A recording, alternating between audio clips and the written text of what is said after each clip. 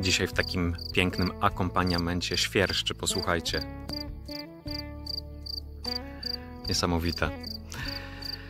W tej serii o 12 kamieniach Eliasza chcemy zastanowić się nad tym, co zrobić, żeby mieć zdrowe serce. Ale nie chodzi o takie zdrowe, wiecie, cardio.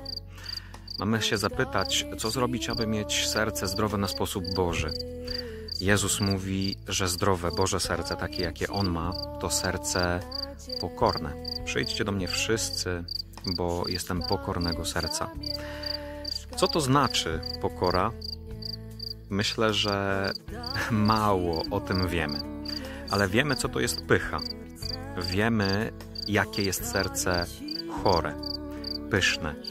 To serce nadęte, można powiedzieć wzdęte, takie, które nie jest w stanie zmieścić do swojego życia czegokolwiek i kogokolwiek innego. Dlatego takie serce, chore serce, nie chwali, nie lubi ludzi.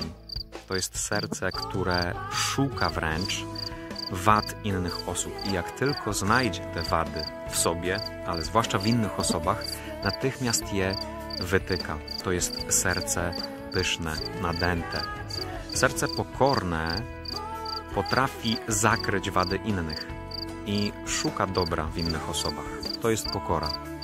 Pokora to, takie, to taki stan ducha, to takie serce, które mm, potrafi złapać dystans, nawet wtedy, kiedy osoba mm, nie jest po mojej myśli.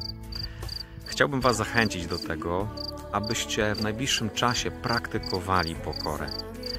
E, pokora to taki stan, kiedy masz po prostu świadomość swojej własnej grzeszności i w związku z tym wiesz, że ta druga osoba wcale nie musi być idealna, doskonała.